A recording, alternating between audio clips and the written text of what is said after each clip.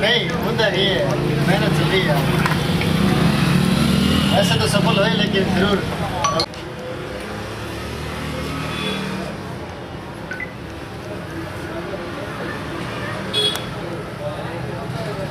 चौबीस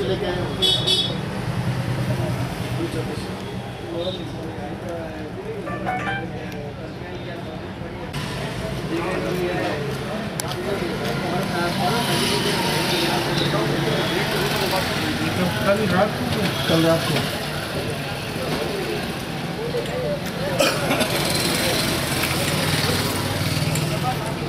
लायो। अपने गाड़ी है देखो। ओ बारोट पर से निकली हमारे ए भी टोटो मैंने बारोट। ए कहाँ से सारे ऊपर है है कहाँ से सारी? कहाँ से सारे ऊपर है? जो कांच क्यों इंच पर मैं क्यों रहा कहाँ से?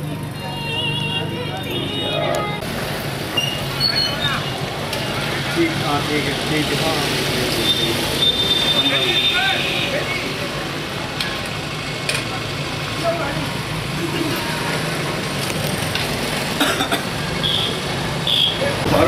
बड़ा पत्थर होता है।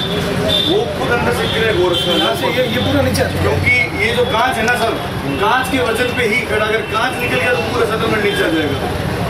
कांच का ये तो है मालिक का कि खाली इतना ही हुआ था डाउन किया।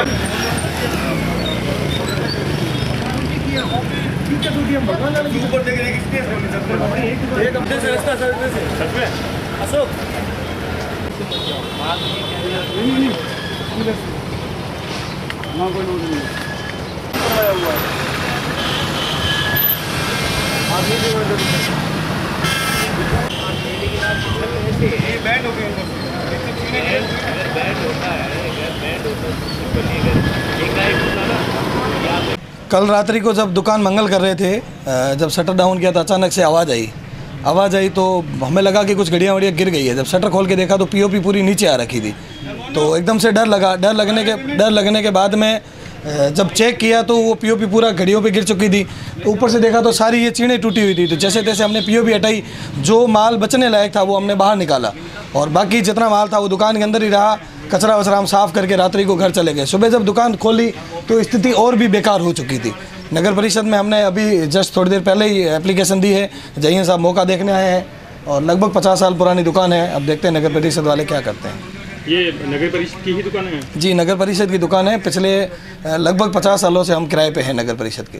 आपको क्या प्रथम दृष्टया क्या लग रहा है? कारण क्या है? कारण तो ये बहुत ही पुरानी दुकान है। जर्जर पीछे क्या है कि मा- पूरा खाली रहता है।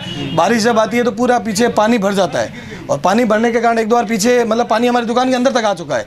तब हमने अपने हिसाब से जैसे तैसे सही करवाया था। अभी पूरा पीछे खुला है। हो सकता है पानी नींव में जाने के कारण नींव धस गई हो और ये इस कारण से भी मुझे लग रहा है। कितना नुकसान हुआ? नुकसान का तो अब क्या आकलन लगाएँगे? दुकान में एनी टाइम पंद्रह से बीस लाख रुपए का माल रहता है। अब हमने तो रात को सिर्फ़ दीवार घड़ियाँ बाहर निकाली मोबाइल्स और घड़ियाँ वगैरह तो सारी अंदर ही अभी दबी। क्या पता चले क्या है। मतलब आपकी इसी कतार में और कितनी दुकानें हैं जिनको इस तरह की आशंका है? अ, पानी तो लगभग सारी दुकानों में आता है। ऊपर से पानी की दिक्कत तो आती है लेकिन टूटने की तो मैंने अभी देखी है बाकी वाले दुकान वालों ने किसी ने देखा या नहीं देखा है मुझे नहीं पता।